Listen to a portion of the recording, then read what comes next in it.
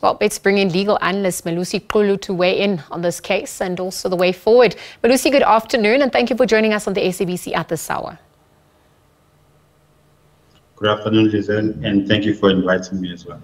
So we're going to just unpack two cases. Let's start off with um, the second appearance of five of the seven men linked to the murder of AKA and Tibz. The state has now added further charges of money laundering against the accused.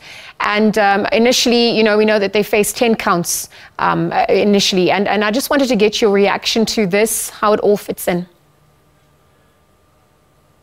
Yes, um, they've added the money laundering uh, charges, Lizelle, because Remember that accused number four, allegedly, he's the one that was the coordinator in terms of payments, receiving a large amount of money, uh, allegedly 800,000 rand. So what they are saying is that at that point, when he received that money and he distributed that money amongst the others, that was money laundering. Maybe just to paint a picture, money laundering is a illegal process of making a large amount of money, making it to appear as if it was obtained in a legal manner. So by that doing that for doing it for illegal activities. So basically that's what money laundering is about. Melusi, thank you for painting that picture and for setting the context. Perhaps as we look at the bail application considerations, you could speak to that because the initial court appearance was primarily procedural and uh, obviously set the, appear, the appearance um, set the stage for the upcoming legal proceedings. The state now firmly opposing bail, highlighting the gravity of the charges laid against them. What do you think their prospects are at this point? Also, as we look at the legal efforts to extradite the additional suspects from Eswatini, that being ongoing. Okay. Okay, I'll start with the bail application. Uh, basically, this is a Schedule 6 bail application where the accused who are applying for bail must prove that there are exceptional circumstances uh, on the balance of probabilities that warrant that they must be released on bail. However, the state is obviously uh, opposing based on the fact that it's a serious matter, it's a premeditated matter based on other um, charges as well. So the state is opposing bail application.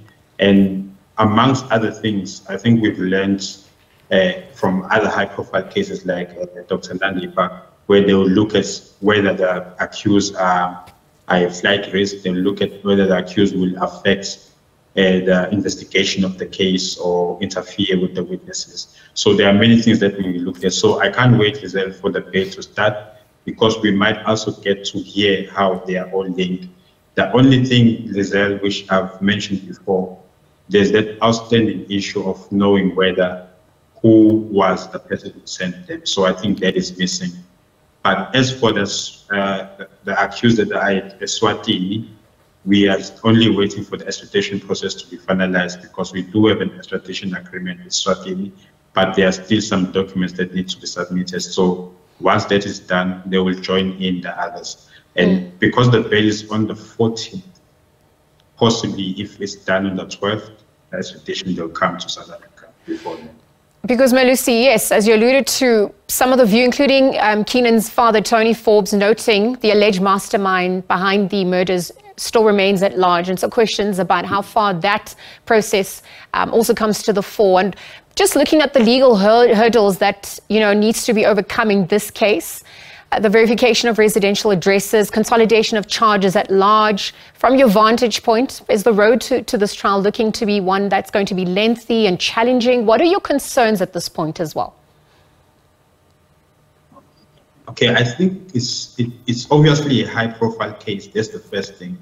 When the case is high, it's a high profile. The, the states will ensure that they get all the witnesses that they need to get. Maybe there will be a large number of witnesses. So we, we are expecting that. But um, like I said, I think once there's no arrest of the person who sent the accused, we're going to have a, a, case that is almost like the Senzo Meyiwa case where only the people who were sent allegedly to kill the deceased are arrested. However, I am interested in whether the, the police follow all the procedures in their investigation uh, where the constitutional rights of the accused properly, you know, given to them because you don't want to find again another Senzo Meyiwa situation where there might be confessions, but the confessions were not done in a proper way.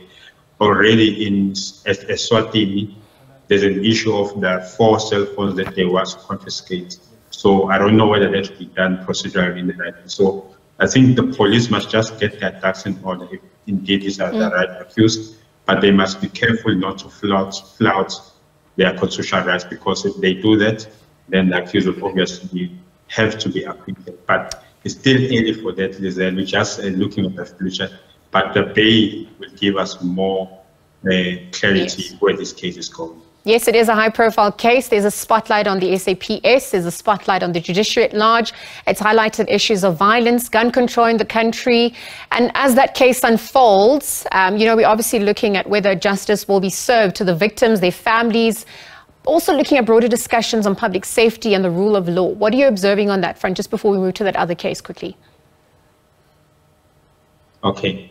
Um, I, I, like the fact that you've brought the fact that um, there must be justice for the family of uh, the deceased, which is AKA, may his soul rest in peace. I think that is very important. It, it, it, makes us to believe in the justice system, but at the same time, hopefully the, the justice for the accused will also be balanced in a sense that there must be the right accused. If not, obviously they must be acquitted. But from a public safety point of view, I, I'm of the view that, you know, when it comes to assassinations, especially in KZN, there needs to be more specialized department at SAPS and the, uh, uh, and the Department of Justice and, and, and NPA. I think I, I read or heard someone uh, from some officials stating that there might there might be a decision to have a specialized court for such cases because they are on increase, especially in Canada. And so for public safety, as you mentioned, I think there's a concern that needs to be looked at. Melusi, just as we turn our attention to another case or two more cases that's come to the fore, I want you to unpack just very quickly the importance of Hlophe, Judge Hlophe and um, Nkola Motata's impeachment vote for um, the judicial accountability at large, um, the move by the president, of course. And uh, just as we look at, uh, you know, the responses from the lawyers, noting, um, awaiting the Constitutional Court to pronounce and shed some more light, help us understand that a little bit for, further. Okay, um, Lizelle, basically the most uh, critical part of this issue or issues is that um, it's the first time it happened in our democratic era from 1994 that uh, a judge or judges have been impeached and they've been removed. However, um, the president has used section 177 subsection 2, as you said in introduction, where based on the fact that the National Assembly has made a resolution he must now remove the judges, and that's what he has done. But I think what uh, Mr.